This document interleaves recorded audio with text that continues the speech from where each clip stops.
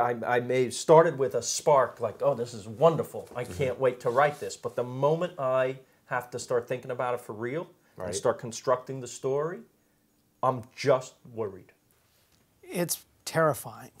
It's terrifying, but it also is incredibly exhilarating. And there's a kind of there is a kind of collective brain when you get 10 or 12 really smart people in a room together for 25 or 30,000 hours. I write for that thrill, that moment. Right. And I get it when I see somebody doing it, and I get it when I do it. If I know, oh, this is going to work. And I don't, I'm not always right, obviously. Sometimes you're like, oh, I scored. And then you should show it to an audience, and they're like, you didn't. when we started doing The Simpsons and we used to edit the soundtracks, which was the first thing, I said, you know what? This is a radio show. This, you know, like the visuals help, but the rest of it is so rich, you don't really need to see it. I like to populate the worlds that I create with people who don't want to be in that world or rebel against that world or are very uncomfortable in that world or are trying to explain that world. That's, you know, that, that's what I identify with most as a storyteller.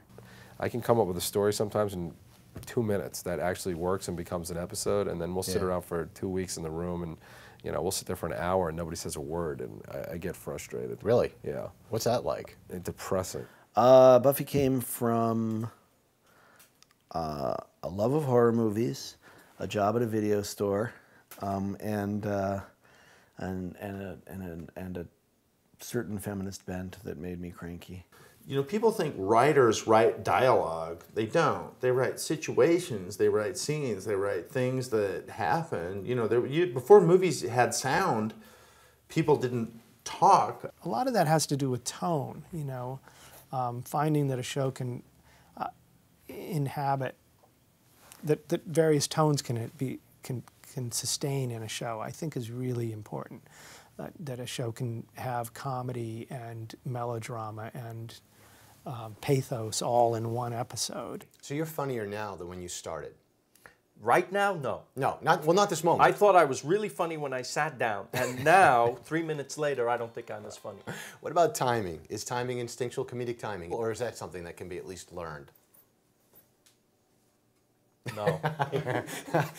You have to need to write, and you have to need to write about something.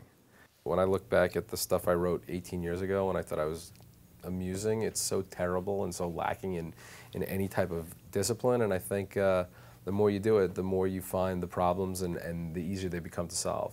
You know, necessity becomes inspiration. Ken and I would come back um, at 11 o'clock on Saturday with a writer's assistant, and we'd write the show for Monday. Do you miss those days? Not at all. It was- The cheesy answer is actually sort of the most sincere, which is write for yourself. Is there any part of your life that isn't fodder for comedy? I'm not going to use this.